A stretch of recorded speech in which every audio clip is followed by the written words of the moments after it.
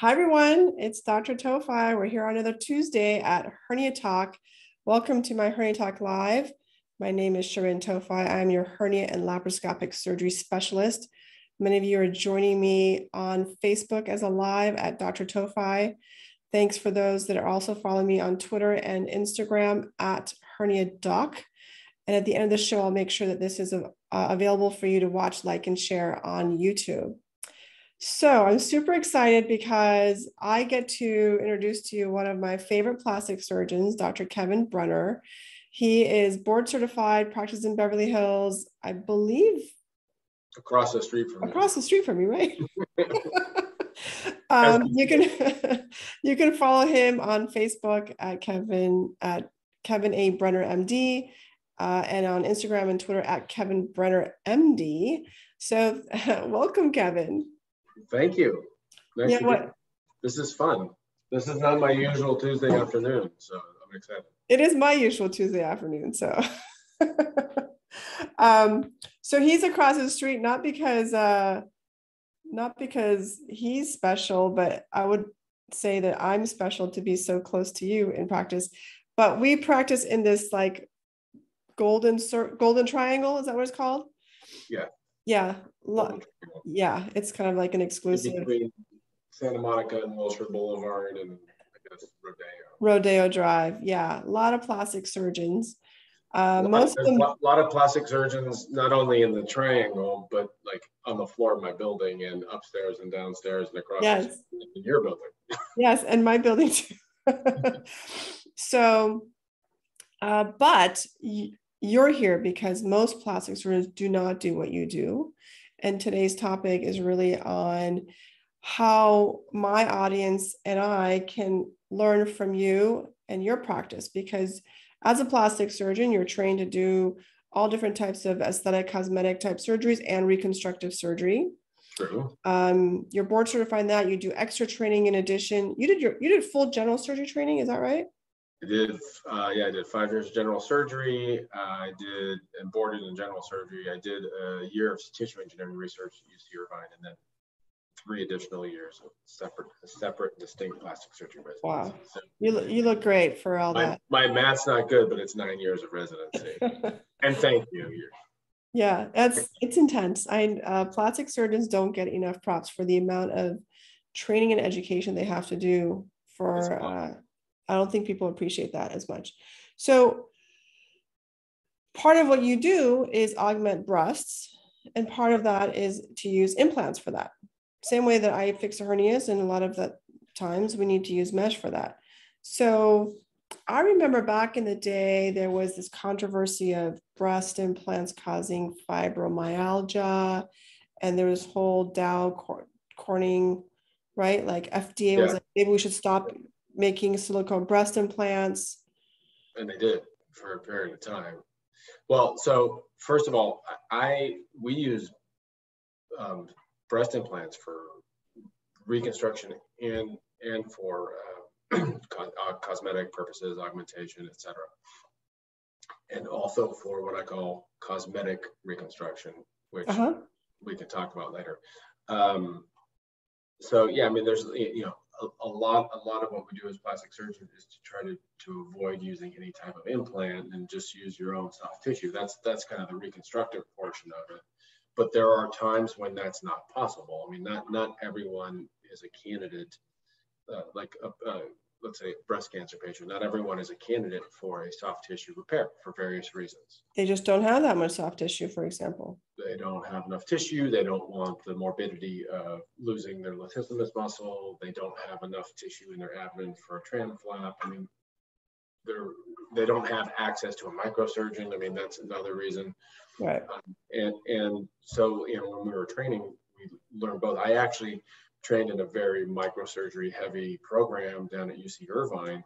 Uh, just about every, I, I, I, don't think I did maybe a handful of implant-based reconstructions when I was there. We did a lot of cosmetic surgery, but not a lot of implant-based reconstructions just because we had so many free flaps, uh, microsurgery.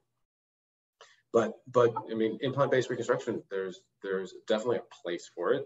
It's it's um, you know widespread around the country. A lot of plastic surgeons do it. It's not something. It's not. It's not even something that I kind of went into practice to do. That's not. That's sort of not my. That wasn't my focus. I was more of like a mommy makeover, breast reconstruction, breast lift, revision, and my practice just sort of very quickly developed into a. Uh, not exclusively. I do everything, but like a big chunk of it is revision breast work. Right. So that, that's implant complications, breast, you know, lift complications, reduction. I just did a re redo reduction complication today. So the, um, the, you know, kind of the breadth of what we do is pretty significant. Um, but, but I also realized that there were a lot of, I mean, there's a lot of implant complications and, and, and, uh, that, I mean, that can happen. A lot of times that people do great with them and have amazing results. But there are yeah. apart apart from breast implantables, there are a lot of different things that can and do happen with, breast implants: rupture, capsular contracture, uh, malposition where it's not in the right place, rippling. Uh, you know, every, everyone's breast is different. Um, but as my practice sort of developed, I started seeing people trickling in saying my, my implants are making me sick mm-hmm. which, I, which, I, thought was very strange. I was like, you know, their exam's normal, the implant's soft. If the implant's soft, then they probably don't have a, a capsular contracture. And um, but they weren't complaining of the breast; they were complaining of their whole body, right?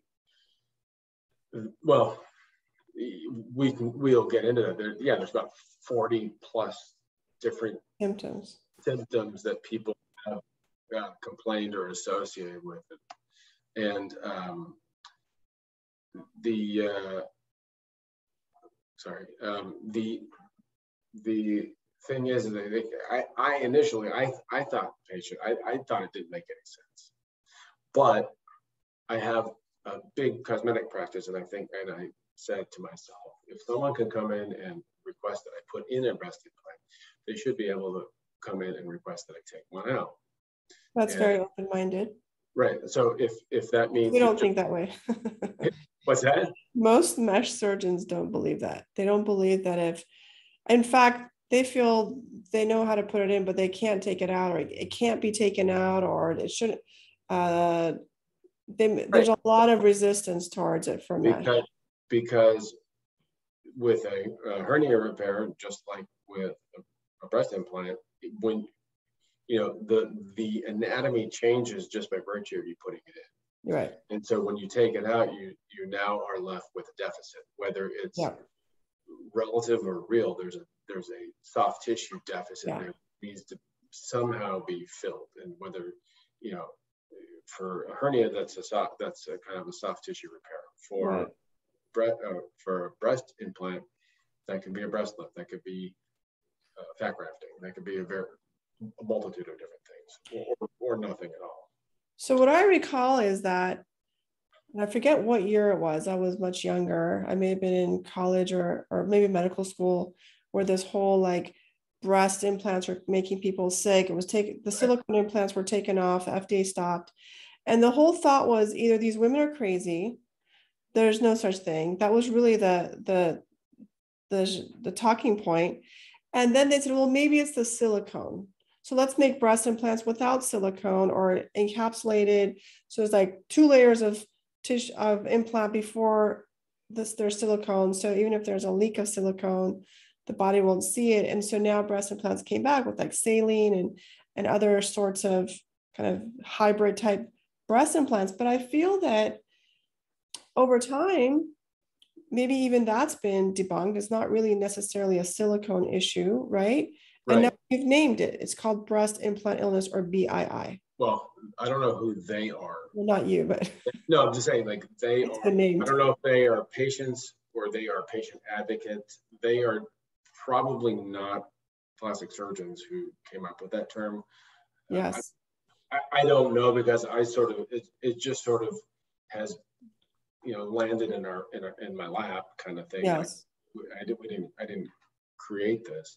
Um, but you're absolutely right about breast implants. I mean, so you know, breast, breast implants go back to 70s and 80s, and initially the only the first implants were, were silicone implants, mm-hmm.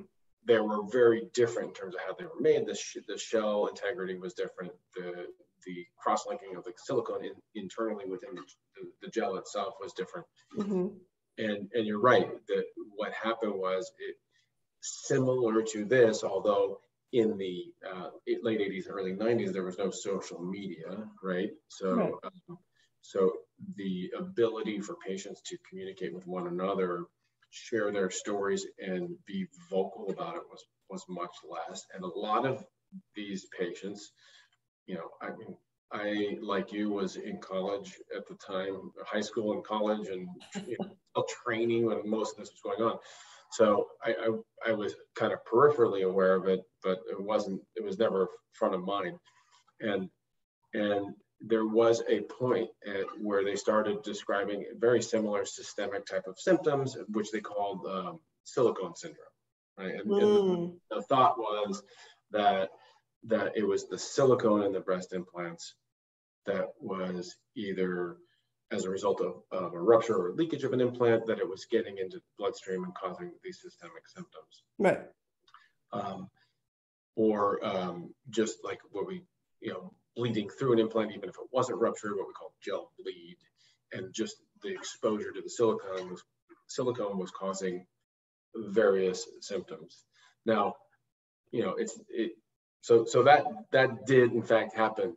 The FDA did impose a moratorium on silicone implants for cosmetic surgery. Mm-hmm. And basically, they were only available to us in breast reconstruction for a period of time. And oh, so it, cancer patients, yeah.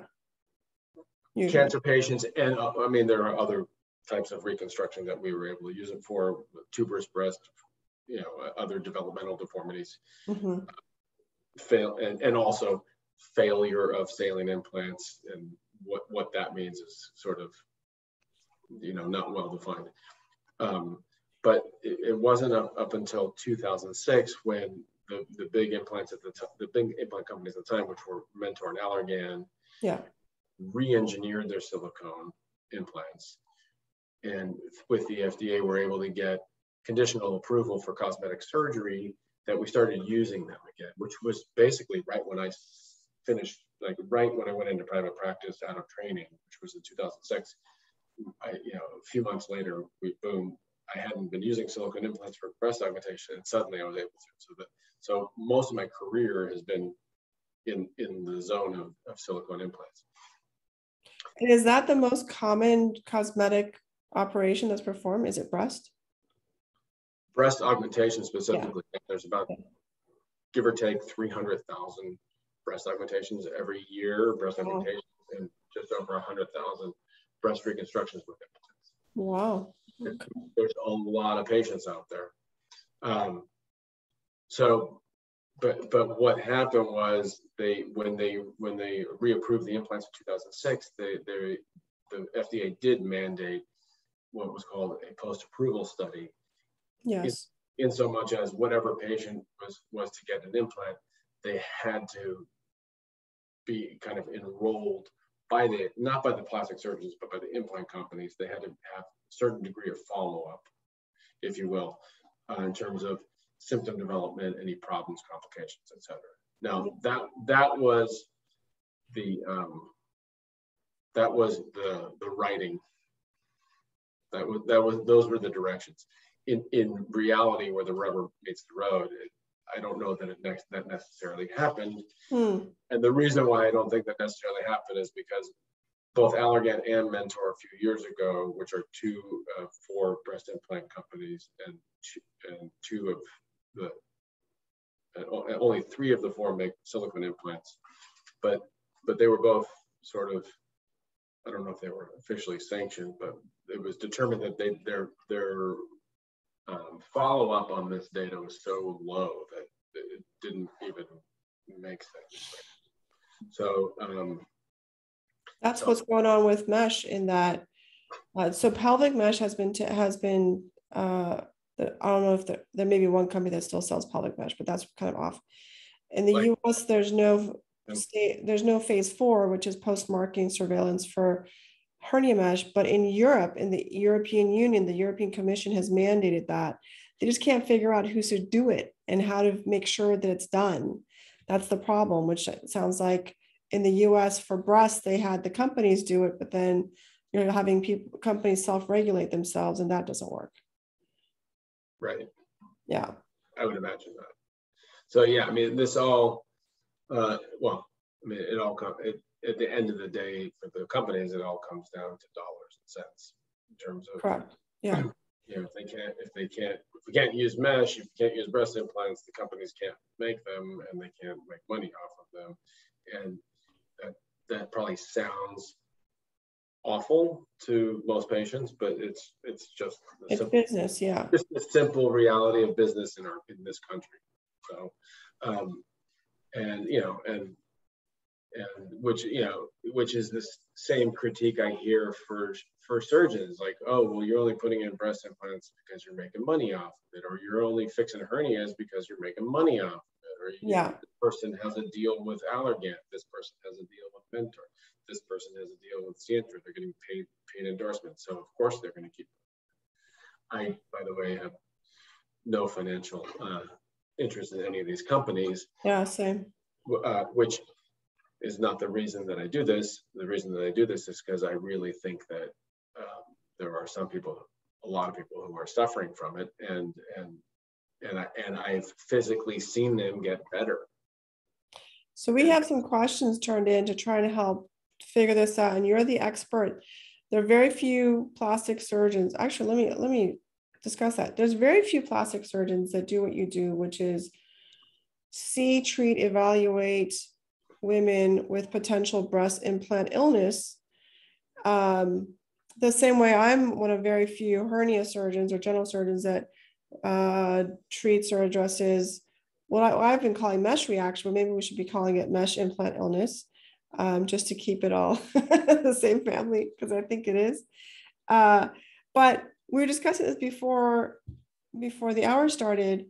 Uh, we're in the minority. You're in the minority your colleagues do not all agree that there is such a thing as um, breast implant illness or needs to be treated, yeah. right? Uh, that's tr- that's probably absolutely true. Yeah. I, now, I'm not the only one that does this. Correct. That's very clear. I mean, there are uh, probably a handful of other people, surgeons that I'm aware of in Southern California, the LA area, that that that do it. I do a a huge volume of it now. So right, that's a little different. I mean, I, I now I do have I, I this is uh, there's this probably take more than an hour, but I do I do have created kind of uh, a breast team in my practice because surgery is only a, small component of it. So I have other practitioners who, who, who do other ish uh, things, and we can kind of get into what, yeah what those are all about whether or not you know they're valid in work or whatnot. Um, but but I think I'm the only, definitely the only one that has kind of a breast team that's like this. That's that's kind of man kind of managing globally all the right. that can potentially happen, or most of them. Um, so perhaps you can just define for us what is breast implant illness. So uh, as in, in 2021, my, my understanding of breast, breast implant illness is that it's a constellation of symptoms that patients get that they attribute to having a breast implant placed in their breast. So okay. um, no two patients are identical, number one, right? Symptoms vary. I now, I now have a uh, an intake symptom list where I have patients kind of rank what symptoms they have, the severity of the symptoms, so that I, I know what it is when I meet them for their consultation. I know yeah. what a week, a month, three months, six months, one year post op, so that I can actually have something tangible to hold on to because there really is nothing tangible about breast implant illness at all. Yes. It, it's completely subjective, right? It's it, it's all in the patient's mind and experience in terms of what they're going through, what symptoms they're having. Now, that's that's part of it. The other thing is that they're they're because the most of the symptoms are symptoms that you and I learned in medical school and in residency are attributed or attributable to other disease process, other legitimate disease processes, right? Yeah. That are often serious or can be serious if left untreated. There, there's a lot of crossover. And so to the objective physician, whatever the specialty is, to, to look at someone who is like, who comes in and says, oh my God, I'm tired all the time. I, yeah. can't, I have brain fog, I can't think. I, I have like shooting pain down my arm. I, I, have muscle aches in my legs. I'm losing more hair than ever in my life. By the way, I'm 30 years old. I can't get I can't get out of bed. And I and and oh, I was fine before I had my breast implants, and this started like a year or two after I had my breast implants. So right. is it related? So this is what I'm dealing with every week. In, yes. In terms of patient experience, and you know, back in the before breast BII was a thing, a lot of a lot of patients like that would get chalked up to having fibromyalgia, which which which when we were in medical school was sort of like a like a, a waste bin diagnosis. Like yeah, you know, non-diagnosis. Yeah. You, you rule out everything else, and if you can't figure out what is causing their symptoms, it must be fib- must be fibromyalgia, right? So so you have your own survey, or is there like a nationally acceptable survey for this? There's, I, I, there may be a nationally acceptable acceptable survey. I, what I was uh, going to say is I have, we, have been doing periodic phone calls um, with part of my breast team, but with other surgeons around the country who do yeah. do a lot of um, as, as do as do I, and the the I actually the survey I have is a modification of one that I got from another surgeon who I believe is in Chicago, if I, if I recall correctly. But yeah, the symptoms sound similar to what I see. So it's and it's, it's not all of it. It's like bits and pieces, but it can be everything. I'll go from head to like hair loss, headache, um, brain fog, uh, inability to concentrate, memory loss, double vision, ringing in the ear. Um, uh, chronic fatigue, joint pains, joint swellings, arm and leg swellings, weird, weird shooting pains in the arms and legs, um, bloating. Do your patients get bloating? Nausea. Uh, well, I don't know. I don't know about bloating per se, but I, I have some patients who are who have unexplained weight gain. And I have others that have oh. unexplained weight loss. Yes. Some patients with Hashimoto's. I have some patients who are yes. thyroid. Um, and, and, we didn't even talk about autoimmune phenomenon, which is sort of um, the big thing. I, I, don't know if it's as big a thing with uh, hernias as it with with hernia mesh as it is with or it has been with implants. I mean, the whole thing about uh, the moratorium on, on silicone breast implants was that a, a, a large number of women were claiming that they had developed autoimmune phenomena. Yeah. As a result of their implants. Now, Same. people get autoimmune phenomena, no doubt. Yeah. Who don't have breast implants. So it, you know, there are Sjogren syndrome is a thing. Hashimoto's is a thing. But scleroderma is, I mean, these are all real diagnoses that people get who don't have breast implants. Correct. So, Rheumatoid so, arthritis. I even have a patient with uh, vitiligo, which is an autoimmune disorder. Um, so, but let me ask you this. So, uh, I remember there was an article early on. This is during the, the first wave of before the FDA just um, put a moratorium. There was an article that said we're going to look at the whole population and see how many people tend to get all these autoimmune disorders: rheumatoid arthritis, lupus, psoriasis, uh, Hashimoto's, ulcerative colitis, et cetera. And then look at all the breast implant patients, see how many of them get autoimmune.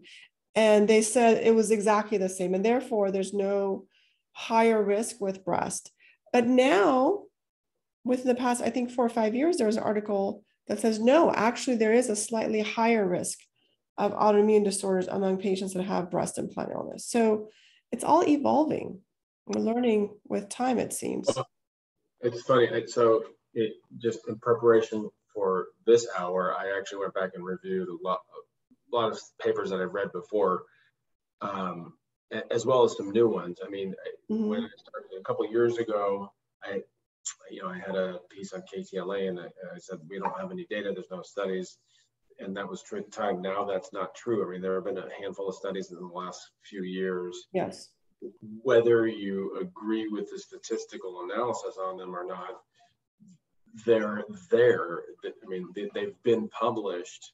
Okay, and not every article that's published is necessarily you know doesn't doesn't necessarily make it the gospel just because it's published there are people that you know debate it back and forth but the very fact that people are publishing about it means that there is definitely uh, a a trend and a, a, build and when i was at uh, i attended albeit virtually our our um, society's spring meeting mm-hmm it was the uh, just this past spring. It was the first time that I actually saw a, sort of a change, a change in the tide in terms of people talking about it. Studies being done by our societies, by ICE, by our educational foundation, and and maybe not everyone was on board. I'm sure a lot of people weren't on board, but they were they were discussing. Whereas prior to that, it was like pop up. I don't even want to touch it like That's the true. landmine. So, you know, right before kind of the whole COVID shutdown, we had, um, I went to, I think it was a Cedar Sinai plastic surgery meeting and started and was giving a presentation about, about my experience with breast implant illness. And, and I, and you know, it's a group of just local plastic surgeons. And I thought I was going to have tomatoes thrown at me because, you know, I think I'm a quack, but, but the reality is, is that I'm not a quack. I'm, you know, I'm as legitimate a plastic surgeon as any other plastic surgeon in, in this country. And, and I just happen to believe my patients that they're feeling this yes. way because they, because they, um, they definitely feel better. I, I think that's a very strong statement where you believe your patients. First of all, these patients aren't all gathering together and coming up with the same exact story. Like that's not what's happening. And yet they're coming uh, there seems to be a similar story, and we just don't know enough as physicians. I feel like physicians are very uncomfortable when they don't know. So it's very easy to say it doesn't happen or it doesn't occur.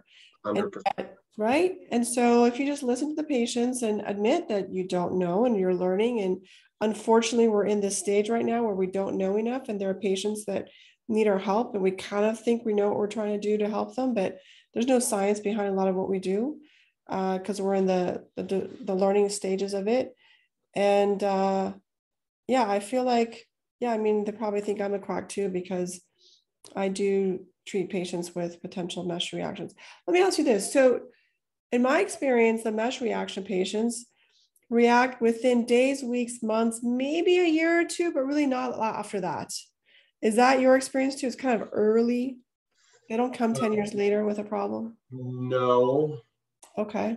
No, I mean, now, mind you, patients that I'm seeing, you know, I, I look back at this, I, I've only had, I mean, you know, I, I've done a lot of breast implant surgery, primary revision, just in, in the last 15 years.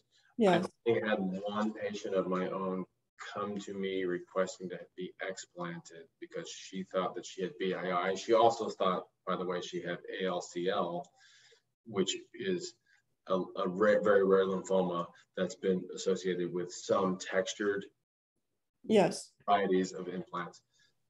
Two two separate entities, but the you know the, uh, the question is: is there any commonality to it? Is there any sort of unifying theme? Um, I, so most of my most of the people that I see, it, it's a delayed phenomenon. Now, sometimes that delayed phenomenon is six months, sometimes it's a year, and and sometimes it's 20 years. Oh. And and um, and this will come out when I crunch the numbers on patients, but I it, it seems to it seems to be, and I don't have data on this, so don't don't hold my my feet to the fire on this, but it seems to be that some of the newer generation of implants have a seem to have a quicker uh, time to development of symptoms than older patients. I mean, I, I have patients who've had yes. 30 years with no problems. Correct. You know, saline implants, no problems. Um, that's that's one thing. The, the other thing is is that I don't think this is we you touched on it before and we got sidetracked, but I don't think this is a silicone phenomenon, even though in fact prior to the moratorium, it, it, people were thinking that it was a silicone phenomenon. Yeah, that's what they were blaming Yeah, right? And, and the reason is is that the reason I say that is I see a lot of patients with saline implants that have the same symptoms, and while the shell of the of a silicone implant and the shell of a silicone of a saline implant are the same, it's a solid silicone elastomer, right? Mm-hmm. So it's not, it's not like the shell is dissolving. Some some people think that well, there's tons of different chemicals, including right you know, heavy metals like platinum that are used to mm. to make the shell, and that perhaps that's leaching. And I don't, I don't, I'm not familiar with the biochemistry behind hernia mesh, but like perhaps that's the whatever's making the the implant is leaching into the body and causing these toxicities, yeah. causing these symptoms. I don't necessarily ascribe to that. I mean, I'll I will admit it as soon as I as, as soon as I see evidence to the contrary. Um, but what I what I think is is that it's it's it's just an immune immunologic response to having a foreign body. And do you see that that's increasing? Do you see like we're seeing more of this problem? Like it's like a becoming more of a problem, not because we're seeing it more, but there's actually more cases of it. Like, is there an increasing incidence of it? Yes. Um, I, I probably not. Okay. It's probably not that the numbers are changing. I yeah. think the diff- the biggest difference is a social media. Everyone's talking about it together and so they come it's, it's almost like they're all like they come together in groups of people. So it seems like there's more patients than maybe it did 10 15 20 years ago. Mm-hmm. that, that's one thing. Um, patients are much more vocal about it as a result of that. This is true. I think a lot of patients were um, reticent to say anything. Number one. Number two when they did when they brought it to the attention of their physician, whether it was their family practitioner, their internist, their cardiologist, their neurologist, rheumatologist, whatever, plastic surgeon, whatever, whoever it was, they were dismissed. Yeah. Like, yeah, that's true. I can't, I can't tell you how many times I've had patients say, you know, I can't believe you're listening to me. I went to my plastic surgeon, I went to my internist. They said everything's fine. You're crazy. Get out of my office. Yeah. Nothing wrong with your implants. All the time. And, and and there may be nothing wrong with their implants, but yeah. but there's something wrong. And and what I think it is is that there's it's it's it, some people just have are kind of pre-wired to have this immunologic response, and immunologic response, you know, everyone's very familiar with immunologic response since COVID, but mm-hmm. like immunologic response happens in more than one way. It's not it's not just antibodies. It's not just right.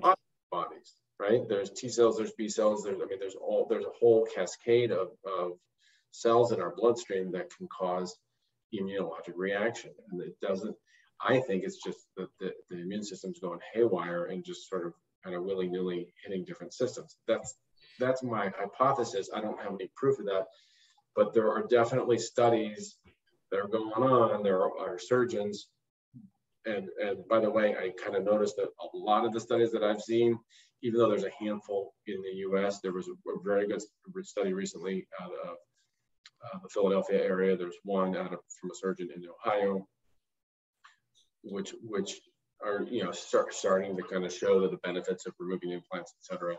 But a lot of the studies I've seen are outside of the country, primarily in Australia. Really? They do a lot of a lot of breast implants in Australia, so there's a lot of data to go out to go after. Yeah. So I see similar population. They're told it's in their head, uh, psychological problems, it's their anxiety.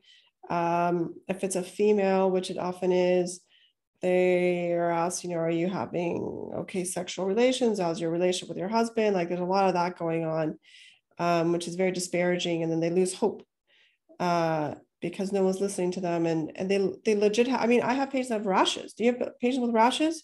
Do they see do you see uh, rashes? Sometimes, yeah. Yeah. I mean you can't make up a rash. and you can go through a whole dermatologic workup, which they all do.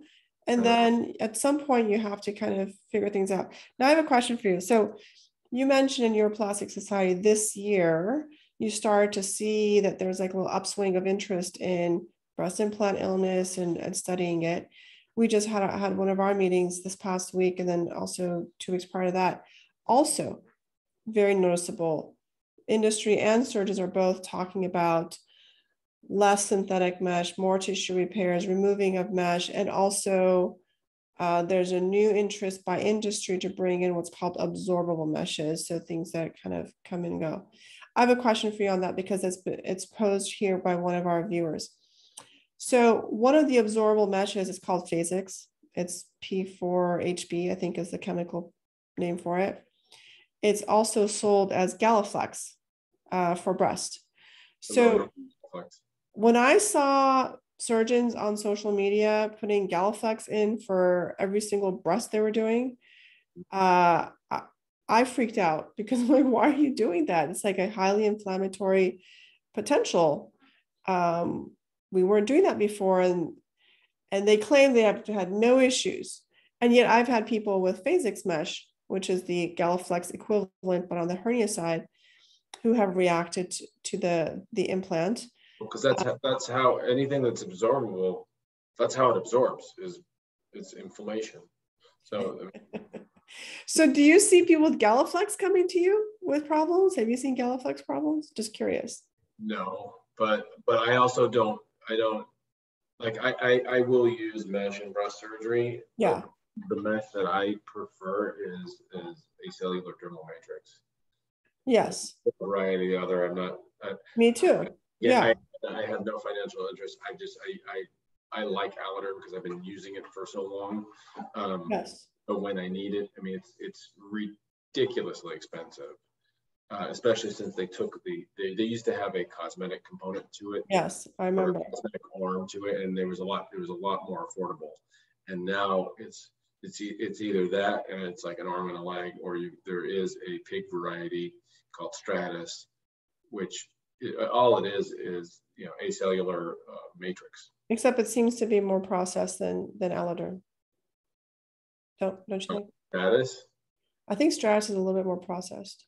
It just seems to act more synthetic and for mesh at least. I don't know. Um, Even though it's biological. Yeah. Well, it, it, anyway, my, my point is I, I have used absorbable meshes before. I have, I've used other. There's been a lot of things that have been coming on the on and off the market. Yeah. And, I, and I've had bad, I've had, I have had in the breast bad reactions before. And I'm mm. blanking on the name of, it, it, was a biologic mesh. And I can't think of the name of it at this time, but um, that it was um, the silk one that was taken off the market. Not no, not silk. No, well, silk, silk's not absorbable. Was marketed as being absorbable biologic. I remember that. That came and went very quickly. But but yeah, I, but yeah, you're, you're absolutely right. I mean, I've gone to meetings before where where people are talking about using, you know, either Vicryl mesh or uh, Galaflex in their breast lifts because they get they think that they get uh, more permanent lift, more permanent contour. I've never done that. I've never had a need to do that. Um, maybe it helps. I, I don't know. I just I just find it unnecessary. Uh, you have you blood blood tests? Yeah. Do you check blood tests or labs? Um, I don't check blood tests or labs necessarily at the, at the time of consultation. Yeah. I'll, you know, I, I am I'm almost kind of like the the end stop for a lot of patients. So they right. most of them have already been to the rheumatologist or their primary care or both or a cardiac whatever the the spe- specialist that they need to go to for whatever symptom they're having. Right. So a lot of times they'll come in with it, and so I'll review everything. Um, however, before we go, before I put a patient to sleep, yeah, I check kind of routine CBC, chemistries. Uh, I, I did this year start checking, in addition to coagulation, I started checking an ESR and CRP, which are mm-hmm. inflammatory markers. And thus far I haven't. I don't think I've had one patient where they're elevated. Same. Uh, um, but I but I'm doing it because I was curious. Yeah. I used to. Um, I used to. My initial thought when I started seeing this is that is that much like capsular contracture or ALCL, that perhaps there's an infectious etiology behind it, right? Because the one thing I, which is probably true for hernia mesh as well is that with with breast implants if an implant gets any implant gets contaminated like it's contaminated until you yeah. put it autoclave which you can't do with a breast implant without ruining its integrity it's contaminated you can't um it's not like you, you just wash it off with antibiotic ointment or betadine or whatever and decontaminate it because yeah. some of these bacteria create this slime layer which sticks to the silicone and and it's interesting. A lot of people think that well, if you know if my breast implant was infected, I would know it because just like a pimple, it would be red, hot, swollen, pus, etc. Not the case with breast implants because because because there's a breast capsule that's around the, the implant, yes. just like there's a capsule around any implant, and and that space is a privileged environment, right? Because mm-hmm. so things can't your your white blood cells can't get in there like they can into your soft tissue. Yeah, we've checked blood tests too, and they've always been normal, even though clearly the patient's eliciting some type of inflammatory or autoimmune reaction, but it's not enough to show, at least on the normal labs that you can order. Now, if there's a research lab that can check HLAs and other kind of fancy stuff, cytokines, maybe that will show. But uh, yeah, we have also not been able to show a difference. I mean, I, um, I, I, started by swabbing the every time I took a did an explant, I would swab inside the capsule. Yeah. Culture. The yield was so low that I stopped doing it. I For did, bacteria. Yeah, I mean, I got a, I got a, I think I maybe I got two staph that grew out, one propionibacter, you know, which are which are all normal skin flora. Um, it just and then and then patients were getting all these bills for for these microbiology bills from UCLA because they're expensive to run those tests. So it's right. like unless there's a reason for it, I don't do it. I don't really do it routinely anymore.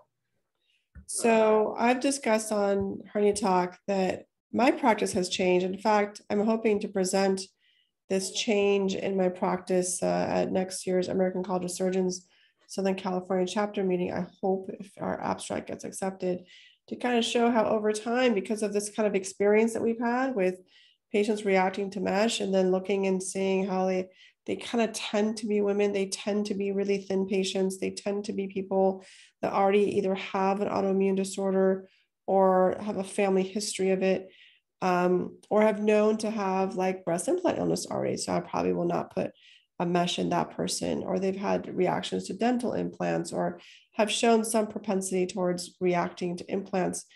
Um, do you feel that your practice has also changed? Are you less likely to talk someone into getting a breast augmentation, or do you talk them out of it?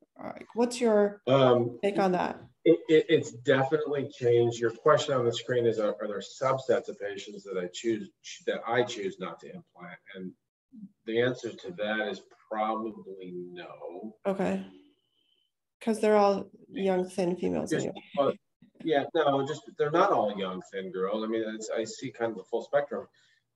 The the reason for I mean, first of all, I'm doing so many explants that the, the percentage of implants to explants in my practice has changed drastically. Wow. That's number one. Number two wow. is I, I do do some revision surgery and will do removal and replacement ruptured implant, fixing, you know, what, there's various reasons for it.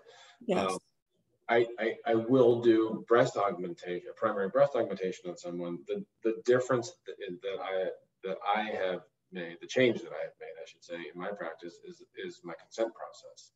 Mm. And, and whereas it was never on my radar before, now BII is front and center in my mind all yeah. the time, every day, all day, and so it's part of my consent process. That's I mean, amazing. And, yeah. and, and my consent process starts during my consult. So, I mean, I, a patient comes in for a breast consult, I usually spend about an hour with them. So, wow. Because there's a lot to go over. And part of that, you know, if they want a breast implant, part of that is, yeah, you can get a capsular contracture, depending on which study, it's between 8 and 20%. Yes, you can get malposition. Yes, you can get rippling. Yes, you can get an infection. You can, you know, can get a device rupture. It's going to happen at some point. You can't get ALCL if you have a texture device. You mm-hmm. can't get BII with any device. And that's mm-hmm. part of my conversation with them. I mean, we don't have a lot of statistical data to give them. Yeah. And it's, you know, it's just my kind of anecdotal experience. And now there are studies that are starting to come out. But, um, but yeah, I mean, I, because I think I'm doing a disservice to people to not tell. I mean, I, I think every any any plastic surgeon that's putting in a breast implant today, that needs to be part of it. I'm not saying that you shouldn't do it. You know, people are still going to do it. It's not going to go away completely. It's just that's just the reality. But the, but but a good plastic surgeon will be informing their patients about the but whatever risks they're aware of. And if a plastic surgeon at this point in time is not aware that breast implant illness is on the horizon right now, yeah. then they got their head in the sand. Seriously. It, it, yeah. that, that's how much noise has been made in the last couple years. There's a question related to breast implants uh, proposed. Have you seen capsular hemorrhage in breast implant patients as they age, especially those who need anticoagulation for, let's say, atrial fibrillation? Have you seen that? Um, I myself haven't seen it. One of my associates I, I know has seen a patient who had what like a bloody seroma, right? And so you you know someone presents with a late what we call a late seroma, which is usually like six months after six months or later after their implantation. In mm-hmm. any seroma at that point in time, you have to we kind you kind of in your back of your mind you have to rule out a lymphoma, right? So mm-hmm. So I, I have seen it, and you know, usually I'll send them to my radiologist over on Brighton, and they'll, if there's a seroma, they'll aspirate it. We'll check it before we go to, you know, I don't want to find about it, find out about it after the fact. I want to know ahead of time. Right. I personally have never seen spontaneous hemorrhage from any coagulants, but um, but that post-op hemorrhage, I mean, that's that's that happens. uh, when you're treating patients with BII, what's your experience once you remove the implant, they do they get cured? Does it linger? Is it everyone a little bit different? What about their symptoms? Um, everyone is a little bit different. I, yeah. I, I hesitate to use the word cure because because I, I, don't I don't I mean I, I prefer to say uh, res, resol, excuse me resolution resolution of symptoms Remission? Um, not remission because it's not a cancer. Um, I notice that, you know, I see all my breast patients, I see all our patients, most of them, anyone who has a major procedure, I see the next morning after surgery. I see a difference in these patients the yes. surgery. They're like a new person. It, the, not everything's gone, but like I feel like the brain fog has lifted. Yes. I feel like their eyes are brighter. Yeah. More energetic. Like they're, you're right. They're like more attentive, a, more energetic. A lot of people say, like, I don't know if it's the Percocet talking, but I just feel better. Yeah. And, and maybe it is the Percocet talking the next morning, but I, I legitimately think that patients feel better even even than starting it the next day. It's not going to be 100%. I have some patients who start feeling better. I have some patients who get, um, you know, 100% resolution of symptoms. I have some that just that don't get any. I mean, that does happen. Same experience. But, but, but then they maybe they didn't have breast implant illness in the first place. Yeah, you'll never know because we don't have any objective data. It's really just I mean, there, syndrome there, really of symptoms. interesting, and you'll you'll be interested in this, or maybe not, since now all you do is hernias. But I had a patient um, this past year who, uh, amongst her other myriad of symptoms, uh, had uh, unexplained pancreatitis, idiopathic. Okay. Had seen like the top pancreas guy over at Cedars. He didn't know what was causing it because she was, uh, you know, relatively young. I don't know, 40, mm-hmm. otherwise healthy. Unexplained pancreatitis. It, ER admissions in and out for abdominal pain, pancreatitis, lipase, you know, in the 200s or whatever. And in, in fact, it, like he had, you know, he was, he was, she had her, he had her on medication just to kind of keep it quiescent. Never went away completely. She had a, a, a sort of a, a, recurrence right before her scheduled surgery. I, I bumped, I pushed her surgery two months just to get it under control because I didn't want to, I didn't want to, you know, have, you know, I don't want to put someone to sleep for a big operation in the middle of pancreatitis. Yeah. So she kind of, we kind of calmed her down. And eight weeks post-op, her lipase was back to normal. Oh, so is it autoimmune pancreatitis potentially? Whoa, that's a big deal. Maybe. right? yeah, we'll never know, but I, I don't know. Temporally, it's correlated. Hundred percent. And wow. that's one person, and you can't generalize and extrapolate from one person, but right. But it happened. I mean, I saw that. So, like, I don't, and and I I I don't. There's a there's a um, an endocrinologist that I I know around here who who told me that also anecdotally, it, he's seen many patients who've been explanted who had Hashimoto's. Yes. And their any thyroid antibodies tapered off to zero after explantation. Yeah, I've talked to many endocrinologists and they're all seeing some some shady stuff going on like, you know, there's these new like you said Hashimoto's thyroiditis or this kind of like lupus like syndromes, but it's not really lupus. And then you take out their mesh, let's say, or their breast implant, or they send it to me like, do you think this is possibly related? Because these operations are very common. We have a million hernias done a year. You have, what'd you say, 600, 700,000 breast implants? That means that you're going to be busier than I am. Yeah, I am busier than you are. but I don't do, yeah, I, we, I like all the other fun stuff you do. yeah, no, there's probably probably about 400,000 patients who get implants every year. Yeah, it's just crazy. Well, and for breast implants, you know, most of them are bilateral. So that's uh, this is true, double. 400,000 patients. That's somewhere between six and 700,000 implants. Yeah, yeah, yeah. It's so crazy. I feel like one day we're going to look back. You're going to tell your grandchildren when I was in practice. Well, we were putting the stuff in people. We were putting plastic in people. We thought it was okay, and then everyone got sick. I'm just exaggerating, but there's going to be no. But, looking but back at this I mean, I mean, you and I had very similar training. I mean, I, I put mesh in people all the time when I was a general surgery resident. Yeah. Didn't even think twice about it. I mean, unless it got infected from intestines. Yeah. That that's what you were. You were worried about it ulcerating in the intestine. You didn't worry about systemic illness just from the mesh. Correct. Yeah, that's not something we learned in residency at all. One yeah. thing, I don't think it was ever mentioned once to me as a resident. Yeah, never. I would agree, never. And it, if if it were, which was the breast implants were, it was poo-pooed as like a conspiracy theory. You know, like well, it, real. It, it still is to some degree. Yeah, unfortunately, I agree with that. I mean, at least in my world, it is you know, I think my world too. Yeah. You know, for for every for every article I, I've read, there's like there's a um, rebuttal from someone who's like, "That's a bunch of BS." You know, there's no proof. A few people doesn't make for everybody, and you know, this article is flawed. Well, yes, articles. These articles may be flawed. They're, I don't know that, that you're not. First of all, I don't think you're ever going to be able to do a prospective blinded study with this type of thing in order to find out whether or not BII is real or, or hernia mesh for that matter. Right. One.